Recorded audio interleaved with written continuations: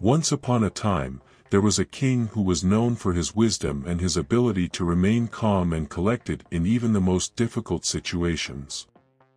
One day, a neighboring king sent his most trusted advisor to challenge the wise king. The advisor was known for his sharp tongue and his ability to provoke people into anger. He arrived at the wise king's court and began to insult him and his people in the most vulgar terms.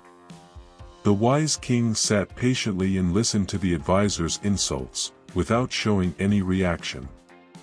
The advisor was frustrated by the wise king's lack of reaction. He tried everything he could to provoke him, but the wise king remained calm and composed. Finally, the advisor gave up and returned to his own king. When the advisor returned, his king asked him how he had fared.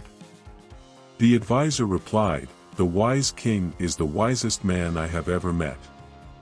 I tried everything I could to provoke him, but he refused to react. He is truly a master of his emotions. The king was impressed by his advisor's words.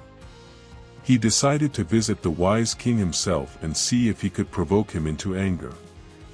When the king arrived at the wise king's court, he was greeted with respect and kindness. The wise king offered him a seat and served him refreshments. The king was surprised by the wise king's hospitality. He had expected him to be angry and hostile. The king decided to test the wise king's resolve. He began to insult him and his people, just as the advisor had done. But the wise king remained calm and collected. He listened to the king's insults without reacting. The king was frustrated by the wise king's lack of reaction. He tried everything he could to provoke him, but the wise king remained calm and composed. Finally, the king gave up and apologized for his behavior. The wise king smiled and said, I am glad that you have apologized. It is important to remember that everyone makes mistakes. The important thing is to learn from our mistakes and move on. The king was impressed by the wise king's wisdom and compassion. He returned to his own kingdom and vowed to be a better ruler. The story of the wise king teaches us the power of not reacting.